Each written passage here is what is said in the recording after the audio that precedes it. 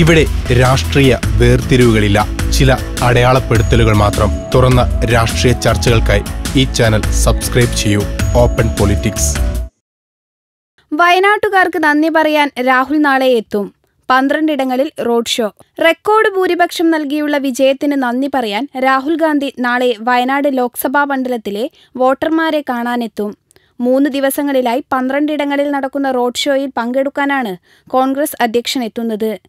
ഉച്ചയ്ക്ക് ഒന്നരയ്ക്ക് കരിപ്പൂരിലെത്തുന്ന രാഹുൽ ഗാന്ധി വണ്ടൂർ നിയമസഭാ നിയോജക മണ്ഡലത്തിലെ കാളികാവാണ് റോഡ് ഷോയ്ക്ക് ആദ്യമെത്തുക കരിപ്പൂർ വിമാനത്താവളം മുതൽ കാർ മാർഗമാണ് യാത്ര. തുടർന്ന് നിലമ്പൂർ ടൗണിലെ ചന്തക്കുന്ന് മുതൽ ചെട്ടിയങ്ങാടി വരെ റോഡ് ഷോ നടത്തും. പിന്നാലെ ഏറനാട് നിയമസഭാ മണ്ഡലത്തിലെ എടവണ്ണയിലേക്കാണ് യാത്ര.